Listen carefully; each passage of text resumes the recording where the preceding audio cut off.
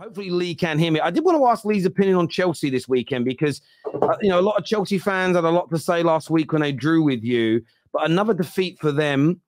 Um, what, what's your take on that? Is that just them missing firepower, or do you think this is the manager, you know, playing two right backs on the bench didn't start one as an example, like playing playing uh, Conor Gallagher as not just in the double pivot, but making Conor Gallagher captain. Are these mistakes are hurting Chelsea, or is this just growing pains as they get better? It's the manager. It's the manager. You, you're playing Jackson up front when a striker.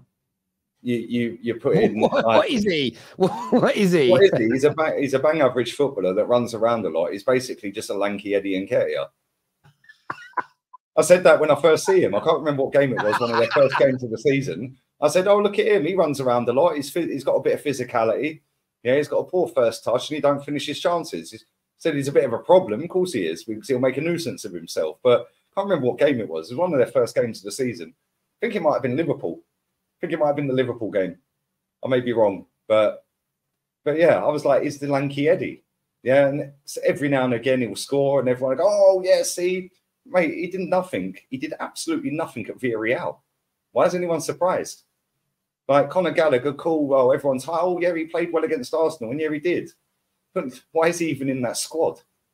They've done a billion quid. I don't even know half their players. That's, and the only reason I know that it's a guy called Washington that was up front the other day, yeah, is because Goonie told me. I, like on a show we did, like we did with Said. I was like, "Who's the fella up front?" I don't even recognise him. I, I, looked at that Chelsea team, so I set up my watch along. I went live, and that Chelsea game had about 12, 15 minutes to go.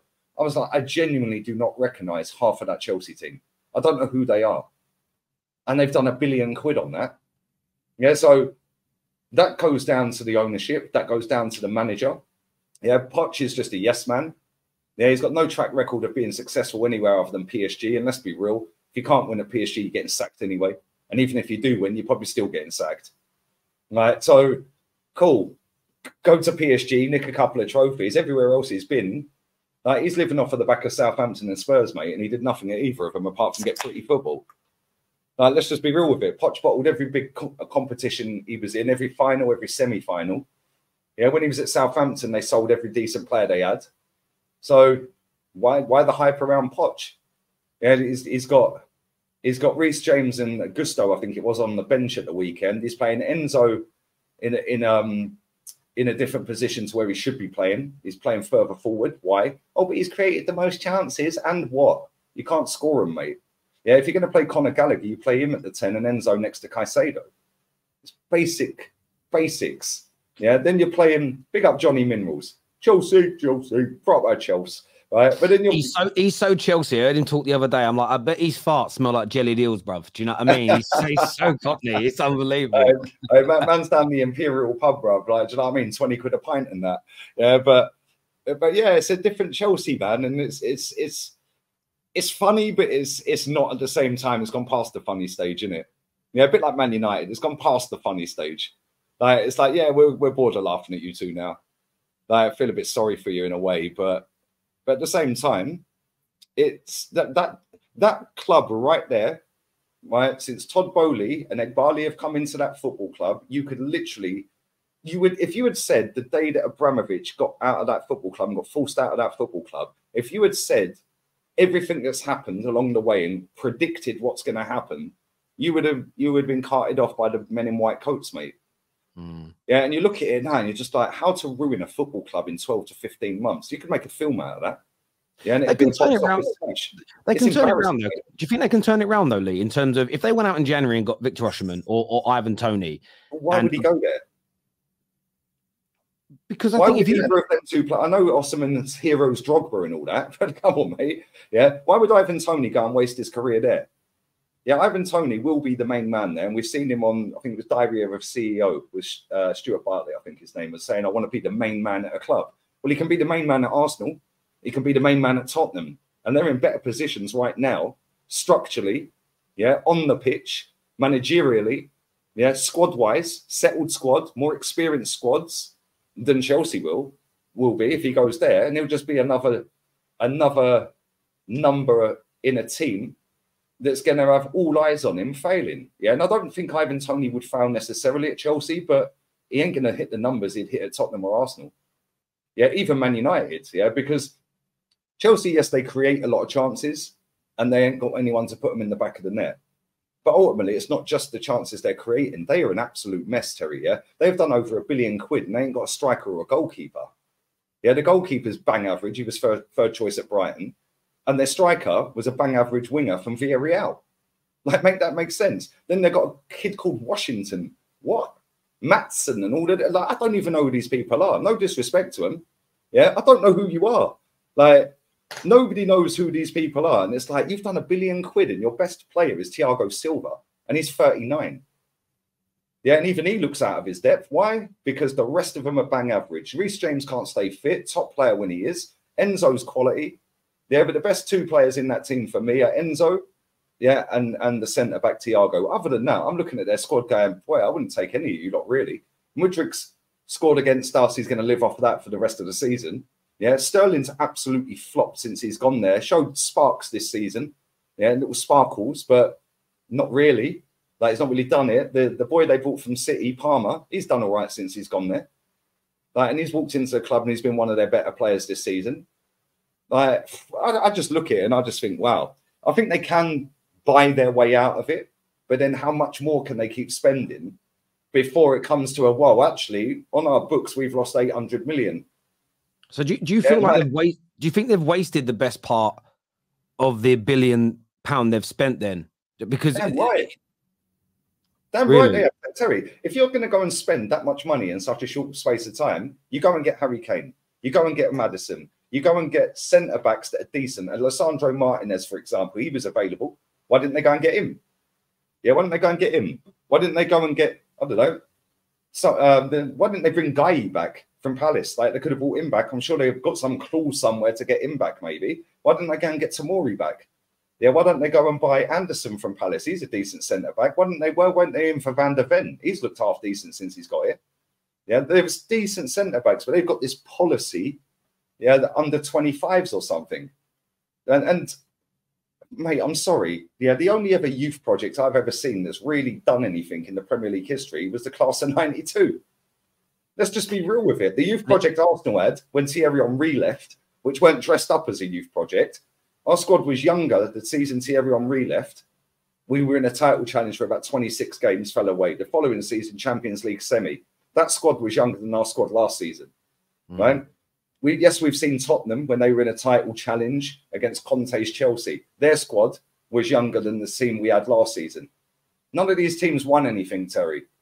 What makes Chelsea's ownership and board level think that by going and buying all of these youngsters, they're suddenly going to miraculously overtake Pep Guardiola's Man City, Klopp's Liverpool, even get above Arsenal?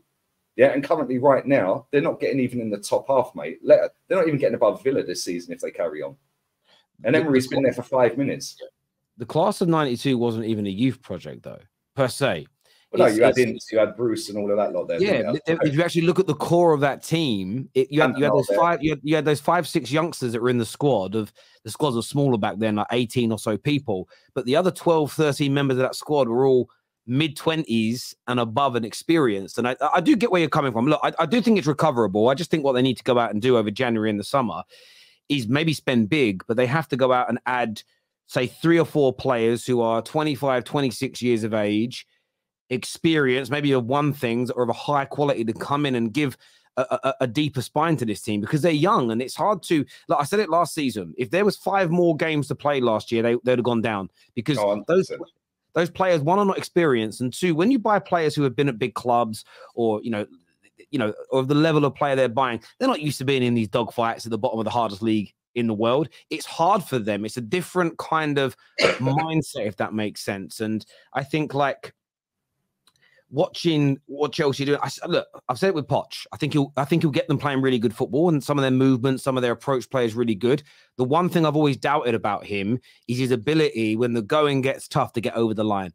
I, I've said it. I, I, he has yet to do anything to change my mind, but I still yeah. think, I still think Chelsea's new owners are going to get it right. I still think they will create, whether it's with Poch or somebody else. I still think they will create a very dangerous and a very potent Chelsea team at some point in the near future. I understand what they're doing. I just think they, the one thing I'm now looking at, I'm thinking, yeah, they really need to add some more experience to this team for the young players to learn off and be guided by? Because at the moment, they need somebody that's Conor Gallagher your the end of their careers, the last two years or three years of their career, players that have done it at a decent level, won trophies, yeah, that are touching 29, 30, got a couple of years left. Yeah, and as for that geezer in the chat, the CFC Reaper, you can tell he just don't watch us, bro. I know more about Chelsea than half of your fan base, mate. yeah, like I worked with Tony Rolfe, SW6 Chelsea, mate, for 15 years. Yeah, I was in the car when Abramovich bought the club, the same car he was driving. Yeah, I know way more about Chelsea than most of your fan base. You probably weren't even born back then, mate. Yeah, so what are you waffling about? Yeah, like what are you waffling about? Like honestly, these Chelsea fans crack me up. You slag their club off, and I ain't even slagging their club off. I'm giving an honest assessment on where they're at.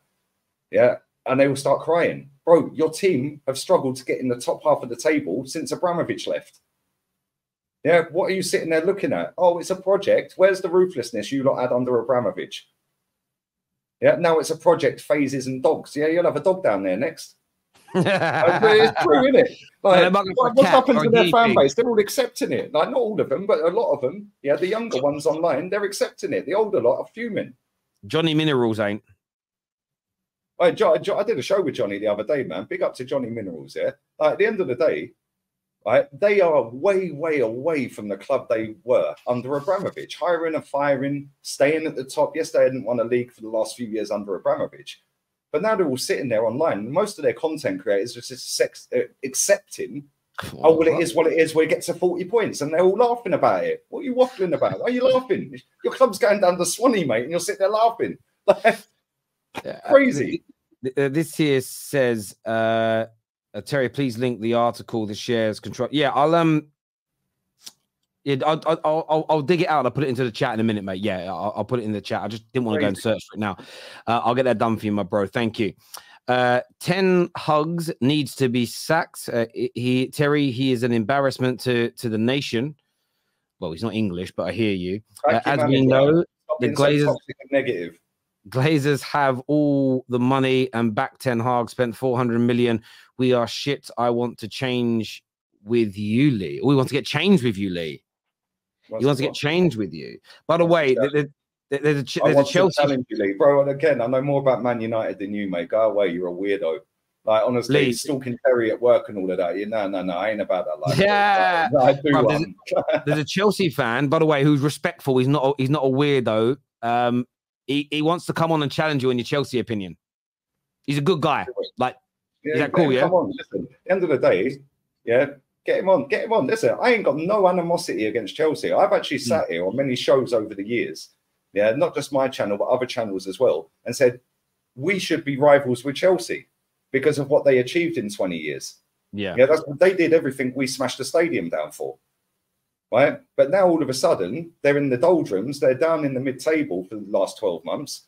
And because you then call that out and say, well, they're a bit of a shambles, they've done this, this, and this. Yeah, all of a sudden everyone wants a challenge. Bro, your club's in the gutter. like, come on. Mm. If he wants to come on, get him on. I'm cool with that.